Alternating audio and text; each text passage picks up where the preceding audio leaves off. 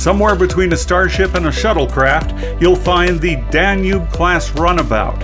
You were most likely to find them assigned to Deep Space Nine, though the Enterprise D had one during the sixth season episode Timescape. DS9 was not a good place for these ships, though. While this one is marked as the Orinoco, that ship was destroyed in the fourth season episode Our Man Bashir.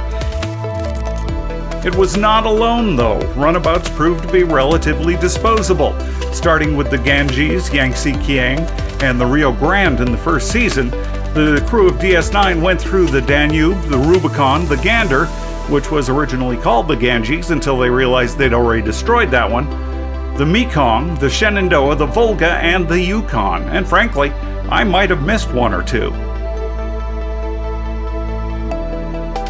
The runabout was a versatile ship, though. While we never really got to see past the transporter pad in the center of the ship, there was a small habitat module in the back, it had phasers and photon torpedoes, was protected by shields, and could travel at warp 5.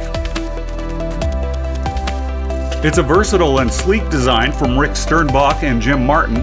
They took inspiration from the SD-103 shuttle in the Undiscovered Country and the original series Galileo 7.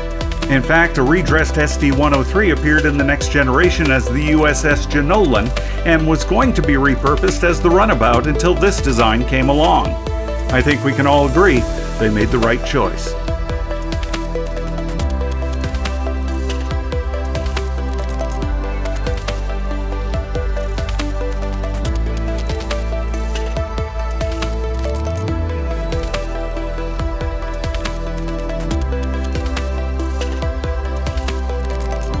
Thanks for watching. Always happy to see your likes and subscribes to the channel. Plus, those fancy Starship Hero t-shirts are available as well. See you next Wednesday.